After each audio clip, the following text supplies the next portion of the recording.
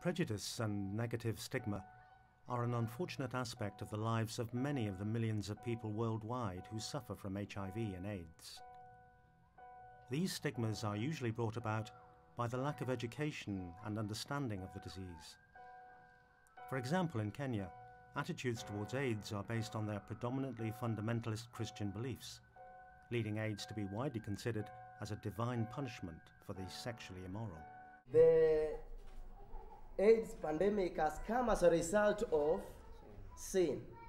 And as, as ministers, what we need to tell people, especially the youth, is that uh, when you go into sin, when you start sinning, or even, let's say, when you go into immorality, you will contact AIDS, and that is against the will of God.